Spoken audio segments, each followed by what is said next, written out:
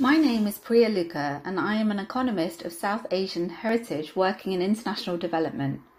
Greetings to all in Ghana listening to this contribution to the GIPRAD, the Ghana and Planet Repairs Action Dialogue, and thank you immensely to the organisers of GIPRAD for allowing me to contribute to this collation of ideas for how we consider the future that Ghanaian people face. In 1982, Ghana's leaders engineered a shift in its economic management policies, abandoning attempts to reduce financial dependency on the West. Ghana's change of direction led to an opening of a Western led international economic system for the country. Ghana's per capita income has leapt and extreme poverty has also fallen. However, whilst Ghana's become a middle income country, the long term prospects are worrying given the over focus on extractive industries such as mining. In Ghana's case, this has meant cocoa and gold. In fact, cocoa from Ghana was Britain's second leading overseas source of colonial income, pulling in 47 million a year as London was struggling with massive post-war deficit. Cocoa paid off for Britain because it kept the prices paid to African farmers for their crop artificially low while selling Ghana's cocoa at considerable profit on international markets. Ghana is also Africa's eighth largest oil producer.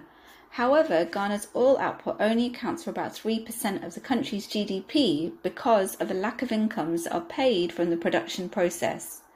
66 years after Ghana's independence, little of what it produces gets transformed locally beyond its raw state. This model of extraction leads to huge environmental costs too. These are the policies of neocolonialism. Dr. Kwame Nkrumah, the former president of Ghana, called neocolonialism the worst form of imperialism. Over the years, the World Bank, the IMF, and private banks have used the financial leverage created by Ghana's indebtedness to control economic policies. This means wage freezes, privatization, and currency devaluation. Last year, Ghana became the fourth nation to apply to the Common Framework Platform, an initiative of the G20 to streamline debt restructuring efforts for countries labelled poorer. Ghana is currently fighting its way out of an economic crisis by hiking interest rates at record speeds, cutting spending, and restructuring its debt as a condition to obtain approval from the IMF's executive board. This moment is about the repair of our collective structures that protect people's right to self determination and give countries the power to control their futures. A new $3 billion loan under the IMF's extended credit facility is being arranged at a time when the future should be about solidarity rather than further exploitation. The idea that free market liberal democracy will bring about a standard of living that's decent is not something that's manifest in any country, and as we see instead, there is rotating power through the same mechanisms. As elections draw near in Ghana, a vision of alternative economics becomes crucial. We see that extent of disrepair in the current level of inflation, which has now hit 54% as food and fuel costs surge. Many households will be concerned about running out of food, while a weak social security system further risks marginalising households that have low income and informal sector workers. We know that it's generally people who benefit from capitalist and patriarchal systems who are involved in designing and running economies, and the people who are most harmed by those systems who are excluded about by them.